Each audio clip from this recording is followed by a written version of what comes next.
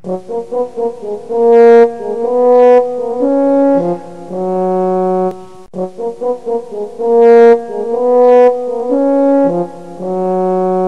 Everyone কেমন আছেন সবাই? সো আজকে আমরা পিটা ব্রেড স্যান্ডউইচ বানানো শিখব। এটা খুবই হেলদি সো চলুন দেখে নেই, চট করে এই রেসিপিটা বানানোর জন্য আমাদের কী কী লাগবে। সো আমাদের স্যান্ডউইচটা বানানোর জন্য প্রথমে একটা ডো বানাতে হবে। আমি এখানে দেড় কাপের মতো ময়দা নিয়ে নিয়েছি। এখন একে একে ময়দাগুলোর মধ্যে আমরা এগুলো দিয়ে দেবো। এখানে এক টেবিল স্পুনের মতো আছে পাউডার সুগার নর্মাল সুগার দিলেও হবে। হাফ টি স্পুন আছে মিল্ক পাউডার হাফ এক ওয়ান টি স্পুন আছে ইস্ট আর হাফ টি স্পুন আছে বেকিং পাউডার আর হাফ টি স্পুন আছে লবণ। সো এখন এগুলো সবগুলো দিয়ে সুন্দর ভালো করে মিশিয়ে নেব।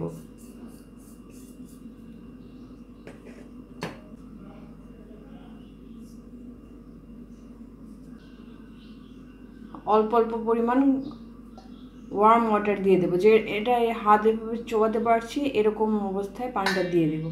পানিটা একবারে দেওয়া যাবে না। অল্প অল্প করে দিতে হবে। দিয়ে মাখিয়ে নেব।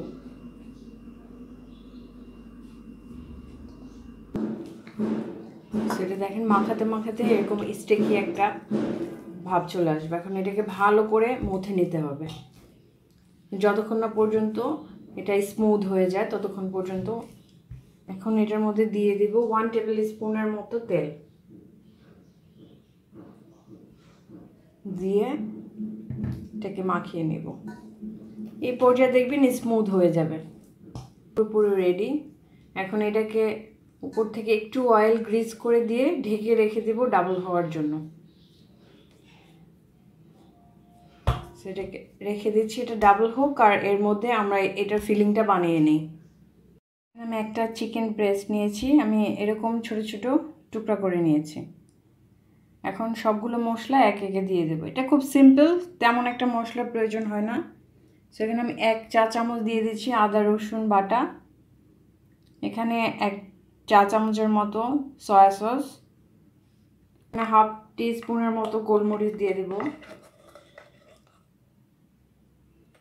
আর এখানে half teaspoon Kashmiri red chilli powder দিয়ে দেবো। কালারটা ভালো আসবে। কাশ্মীরি রেড চিলি পাউডারটা না থাকলে নর্মাল রেড চিলি পাউডার দিয়ে দিলেও হবে। দিয়ে জাস্ট একটু ভালো করে একটু মাখিয়ে নেব। এটা ম্যারিনেট করে বেশিক্ষণ রাখার দরকার নেই। আমরা সাথে সাথে এটাকে রান্না করতে পারব। সেটা খুব ভালোভাবে একটু মাখিয়ে নিচ্ছি। আমাদের চিকেনগুলো একটু রান্না করে নেব। এখানে ওয়ান টেবিল স্পুনের মতো তেল দিব। এটা খুবই হেলদি একটা স্যান্ডউইচ। খুব বেশি তেল মশলার প্রয়োজন হয় না। তেলটা এখন গরম হয়ে গেছে, এখন চিকেনগুলো দিয়ে দেব।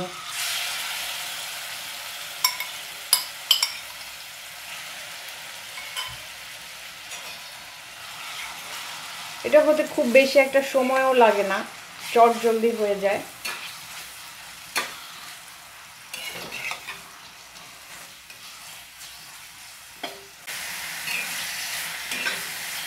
নেড়ে চেড়ে একটু রান্না করে নেব। দেখেন, এটা আমাদের মোটামুটি হয়ে গেছে। এখন আমরা এখানে সবজিগুলো দিয়ে দেব। আমি এখানে গাজর দিয়ে দিচ্ছি। গাজর এখানে হাফ কাপের মতো আছে, ক্যাপসিকামও হাফ কাপের মতো আছে। আর দুইটা মিডিয়াম সাইজের পেঁয়াজ আছে এখানে। আর মরিচটা আপনারা একটু বুঝে দিবেন।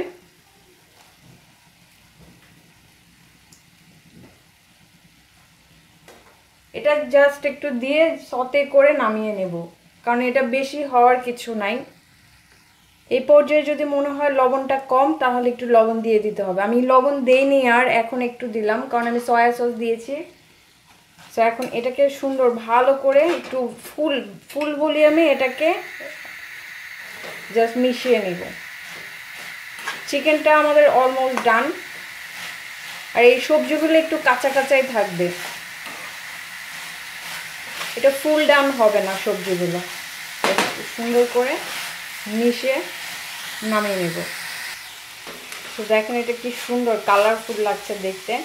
তো এটা আমাদের হয়ে গেছে। এখন এই স্টাফিংটা আমরা পুরোপুরি ঠান্ডা করে দেন অ্যাসেম্বল করে নেব আমাদের স্যান্ডউইচগুলো এটা এখন ফুলে ডাবল হয়ে গেছে।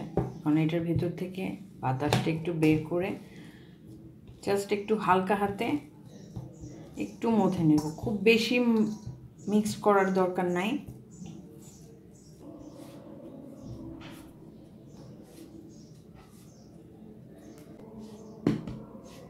এখন রেডি মেয়েটাকে ইকুয়াল চারটা পার্টে ডিভাইড করব।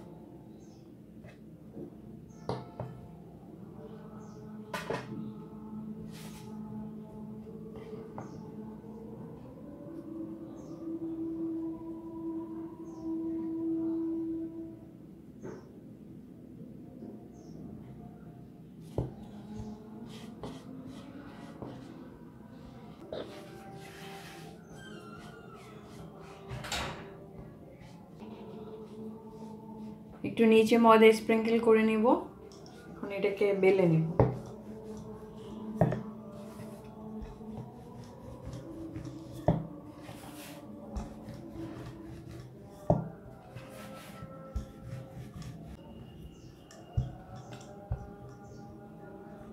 দেখেন, এটার থিকনেসটা ঠিক এরকম হবে।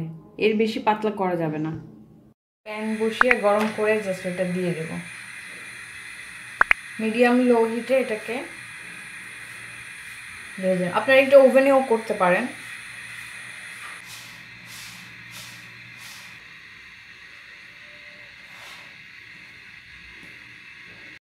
ব্রেডগুলো আমরা কেটে নেব মাঝখান থেকে। দেখেন কতটা সফট হয়েছে। এটা ইজিলি ওপেন হয়ে যাচ্ছে। সেখানে অ্যাসেম্বল করার জন্য জাস্ট একটু ম্যাও, ম্যাওর সাথে একটু চিলি সস মিশিয়ে নিয়েছি। এটা একটু নিচে এভাবে দিয়ে জাস্ট আমাদের স্টাফিংটা এর মধ্যে হয়ে, ঠান্ডা হয়ে গেছে, এখন স্টাফিংগুলো দিয়ে দিব।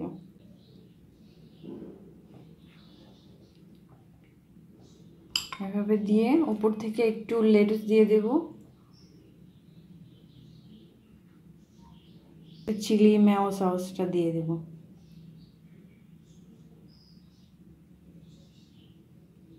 সেইভাবে সবগুলো স্যান্ডউইচ আমরা ফিলিং করে নেব। রেডি হয়ে গেল আমাদের হেলদি পিটা ব্রেড স্যান্ডউইচ। এটা আপনারা একবার হলেও বাসায় একটু ট্রাই করবেন। আশা করি ভালো লাগবে আপনাদের। আর আমার চ্যানেলের রেসিপিগুলো যদি আপনাদের ভালো লেগে থাকে, তাহলে প্লিজ চ্যানেলটি সাবস্ক্রাইব করবেন, লাইক করবেন, কমেন্ট করবেন, শেয়ার করবেন ভিডিওটি। আজকে বিদায় নিচ্ছি। খুব শীঘ্রই আবার নতুন রেসিপি নিয়ে হাজির হয়ে যাব। ততক্ষণ পর্যন্ত ভালো থাকবেন, সেফ থাকবেন।